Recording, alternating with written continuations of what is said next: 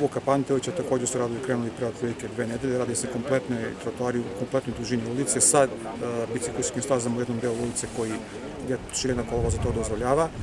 E, takođe se radi u ulici Lava Tolstoja trotoari, tamo radovi za sada ne teku dobrom dinamikom, s obzirom da izvodjač nije još uvijek angažiran broj radnika i mehanizacije, ali očekujemo i vršili smo, tako kažem, i ovaj pritisak da, da se ti radovi, da se kvalitet i dinamika radova ubrza, tako da očekujemo da tamo ovaj radovi budu završeni u roku 90 dana kako je predviđeno. Pored toga radi se još na lokaciji u Novom Zavoju, kao što je Kronočnik rekao, trenutno se ređu ulice 27. marti Stare Novaka, a do kraja sezone nakon zamenjene reže tamo će se raditi ulice Vasa Pedovića.